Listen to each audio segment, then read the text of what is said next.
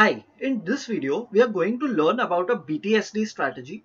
After that, we are going to build the same strategy on Tradetron and then we are finally going to backtest the strategy to see how it would have performed in the uh, in the last six months.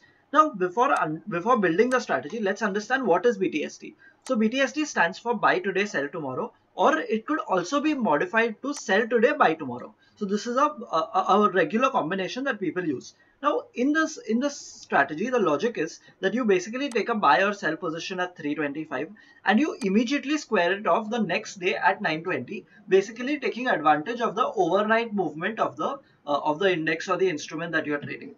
So without any further ado, let's go and see how do we build such a strategy on Tradetron. So I have the strategy already built. I'll just go to edit. So in my BTST strategy, I will have two sets, my set 1 and my set 2. Now the objective of having two sets is that since it is doing a BTST strategy, which means it is taking positions overnight, I want to make sure that on Thursdays, I am taking a trade in the next week expiry. So my set 2 is designed to trade only on Thursdays and the rest all the days I will trade in my set 1 which is taking current week expiry positions. So I can show you my entry conditions in my set 1. I have a simple entry condition as time greater than 325 and today is not uh, equal to current week expiry. This will make sure that the trades are not taken on Thursday. Now I'll show you my position builder. So in my position builder, I have a simple uh, ATM uh, call option that I will sell of current week expiry of one lot. And at the same time, I also have a put option that I will sell of, uh, of ATM uh, strike, current week expiry and one lot. Um, now I'll show you my exit condition for my set 1. My set 1 exit conditions are if time is greater than 920, which means after 920 I will want to exit and my time is less than 925 just to make sure that uh, there is uh, there is no re-entry or looping that happens in the strategy. So this kind of a exit condition would be ideal for a BTST strategy where I have selected an AND condition and not OR. Similarly, I have my set 2.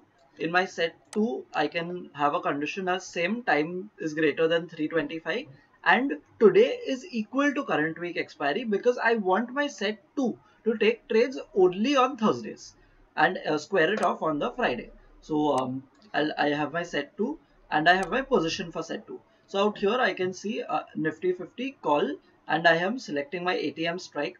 Only difference is that in expiry out here I've selected FX and in FX I will select current week expiry. Now current week expiry will give me the current week's uh, expiry and I will select one out here. This is very important. If you don't select one, it will select the current week expiry only and your strategy will not work correctly.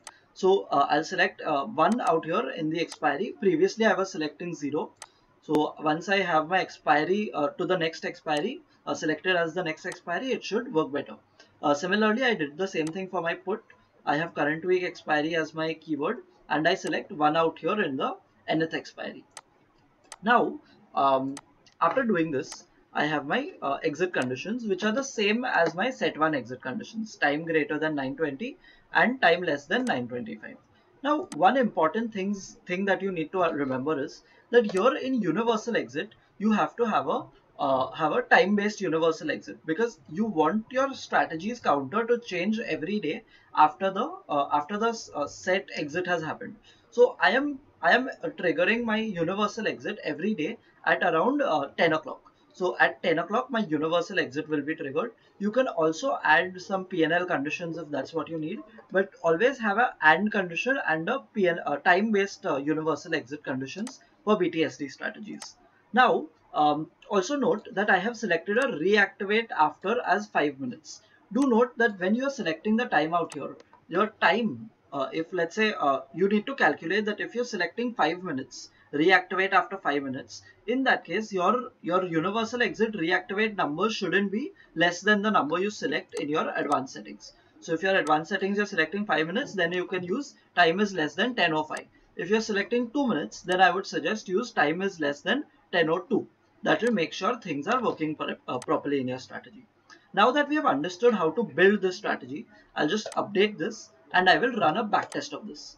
So I'll quickly go to backtest and you can see I'll, I have selected six months, one minute, open. In my uh, in my type, I'll select positional and my expiry will be, you can either select none or monthly. Now I'll leave it as none because it is selecting uh, different expiries uh, every uh, every uh, on a daily basis. So someday it will be weekly, someday it will be monthly. Now I'll click on backtest and now we will go to the backtest page. Now this strategy should take around 3 to 5 minutes to backtest. I'll not make you wait so long. I already have backtested this strategy and I'll go to the completed section and out here I'll click on status PDF. So this will give me the state uh, the the backtest report that has been generated. So I'll just enlarge this a bit and here is the report that is generated. So you can see what kind of return has this uh, has this backtest uh, performance of the strategy given.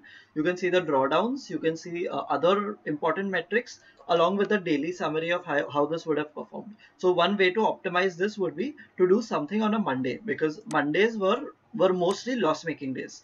The max loss was way more than the max profit. So I can do some optimization here.